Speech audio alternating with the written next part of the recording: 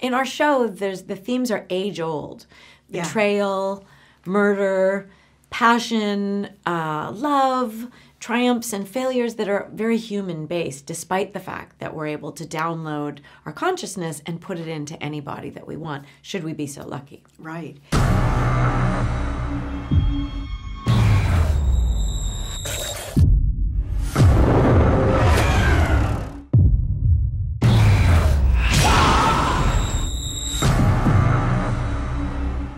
Notion of living in the 25th century, being able to live for 300 or 500 years, would be so ultimately maddening. And, and our antiheroes really have gone mad with leisure and wealth and excess.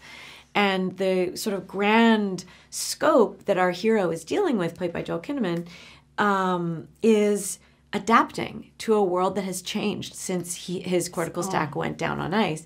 So I feel like it's one thing to talk about being able to physically move and thrive for 500 years, but I don't know what the human psyche would be like after 500 years. I think that you would be mad. You would truly be mad. Your character, for instance, she's been married to this uh, unpleasant man for a hundred years.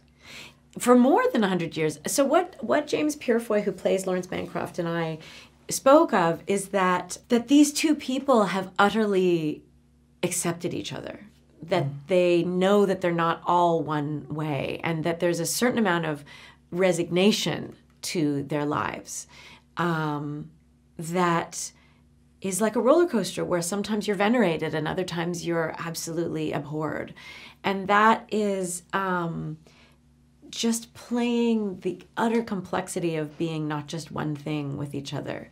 You'd have to you'd have to have that that acceptance then your en- enemy of that acceptance is also disgust with each other so there's you know apathy and also acceptance in being married for 500 years or 300 years or you know In a way, she's she's kind of trapped in the marriage, in the the universe that she lives in, Mm-hmm. in this technology things, and all she wants is something that's basic and human, and that's love. Yes. So Miriam is is actually trapped also because Lawrence, her husband, whose murder we are actually solving in the show, uh, does not actually share his wealth with her or their children.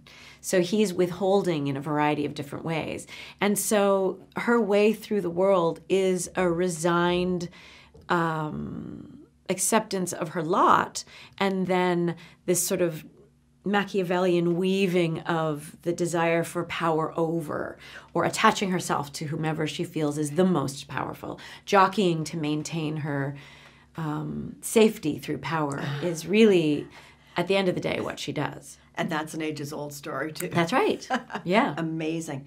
Tell me about without if if you can tell me without giving away anything, uh, what kind of an arc she develops in this season.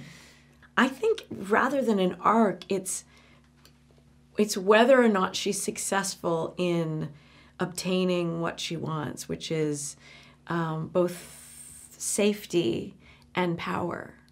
And the ride that you're on with her is is um, how she navigates that desire and whether she's successful in getting it. And you'll have to see. You'll have to see. Would you like to do a comedy? Oh, I'd love to do a comedy. Yes. You do kind of dark stuff a little bit. I'd bit. love to do a comedy. I really love. I mean, frankly, almost everything I've done, I think, would make a thrilling comedy. Like Motive, we used to do in between takes. I'm like, this is the best comedy. Shouldn't we just turn this into a comedy? like, just we'll do the same lines, but we'll just do it as a comedy. Just think about it. Or you're watching Altered Carbon, watch it and get swept up in it, and it's so tense and emotional. Now imagine it as a comedy. It's not that hard, actually, to tell you the truth, because real pathos is also in comedy. That's right. And, Yeah. and they say that comedy and, and tragedy are just so close. So close. So close. But Yes. it sounds like a great drinking game. Yeah. well, it's actually how lots of actors pass time, actually. That's hysterical. I really mm. like that.